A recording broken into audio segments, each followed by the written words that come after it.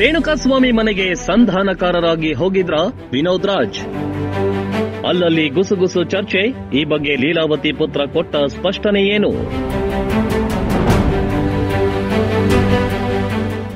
ರೇಣುಕಾಸ್ವಾಮಿ ಕೊಲೆ ಕೇಸ್ನಲ್ಲಿ ನಟ ದರ್ಶನ್ ಈಗಾಗಲೇ ಜೈಲುವಾಸ ಅನುಭವಿಸುತ್ತಿದ್ದಾರೆ ಈ ನಡುವೆ ನಟ ವಿನೋದ್ ರಾಜ್ ಅವರು ದರ್ಶನ್ ಅವರನ್ನ ಕೆಲವು ದಿನಗಳ ಹಿಂದೆ ಜೈಲಲ್ಲಿ ಭೇಟಿಯಾಗಿದ್ರು. ಅಷ್ಟಕ್ಕೆ ಸುಮ್ಮನಾಗದ ವಿನೋದ್ ರಾಜ್ ರೇಣುಕಾಸ್ವಾಮಿ ಕುಟುಂಬದವರನ್ನು ಭೇಟಿ ಮಾಡಿದ್ರು. ಈ ಬೆಳವಣಿಗೆ ಹಲವಾರು ರೀತಿಯ ಕೋಲಾಹಲಕ್ಕೆ ಕಾರಣವಾಗಿತ್ತು. ವಿನೋದ್ ರಾಜ್ ತೆರೆಮರೆಯ ಹಿಂದೆ ರಾಜಿಗೆ ಕಸರತ್ತು ನಡೆಸುತ್ತಿದ್ದಾರೆ ಎಂಬ ಮಾತುಗಳು ಸಾಮಾಜಿಕ ಜಾಲತಾಣದಲ್ಲಿ ಚರ್ಚೆಗೆ ಕಾರಣವಾಗಿತ್ತು. ಸದ್ಯ ಇದಕ್ಕೆ ವಿನೋದ್ ರಾಜ್ ಅವರ ಕಡೆಯಿಂದಲೇ ಸ್ಪಷ್ಟನೆ ಸಿಕ್ಕಿದೆ.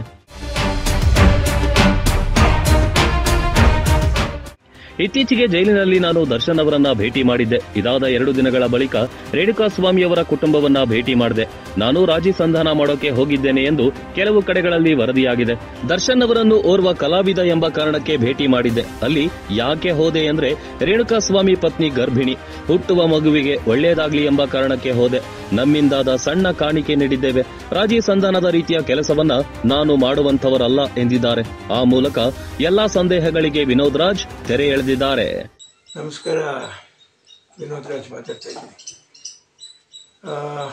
ಮೊನ್ನೆ ನಾಲ್ಕೈದು ದಿವಸದ ಕೆಳಗಡೆ ನಾನು ದರ್ಶನ್ ಅವ್ರನ್ನ ಕಾರಾಗೃಹಕ್ಕೆ ನೋಡಕ್ಕೆ ಹೋಗಿದ್ದೆ. ಆಮೇಲೆ ಒಂದು ಎರಡು ದಿವಸ ಬಿಟ್ಟು ನಾನು ಮಾರನೇ ದಿವಸ ಒಂದು ಎರಡನೇ ದಿವಸ ಬಿಟ್ಟು ಆ, ರೇಣುಕಾ ಸ್ವಾಮಿಯವ್ರ ಮನೆಗೆ ನಾನು ಹೋಗಿದ್ದೆ. ವಾಹಿನಿಗಳ ಮೂಲಕ ನನಗೇನು ಅರ್ಥ ಆಯಿತು ಅಂತಂತ ಹೇಳಿದ್ರೆ ಏನೋ ನಾನು ರಾಜಿ ಸಂದಾಯ ಮಾಡೋದಕ್ಕೋ ಇನ್ಯಾವುದಕ್ಕೋ ನಾನು ಹೋಗಿದ್ದೀನಿ ಅಂತಂತ ಹೇಳ್ಬಿಟ್ಟು ನನಗೆ ಅರ್ಥ ಆಯಿತು. ಖಂಡಿತ ಅದಲ್ವೇ ಅಲ್ಲ. ದರ್ಶನ್ ಅವ್ರನ್ನ ಮತ್ತೊಬ್ಬರು ಕಲಾವಿದರು ಅನ್ನುವಂಥ ದೃಷ್ಟಿನಲ್ಲಿ ನಾನು ಹೋಗಿ ನನಗೆ ಪರಿಚಯ ಅವರು ನನ್ನನ್ನು ನೋಡಿ ಆ ಪ್ರೀತಿಯಿಂದ ನಾನು ನೋಡ್ಕೊಂಡು ಬಂದಿದ್ದು. ಇಲ್ಲಿ ಯಾಕೆ ನಾನು ಹೋದೆ ಅಂತಂತ ಹೇಳಿದ್ರೆ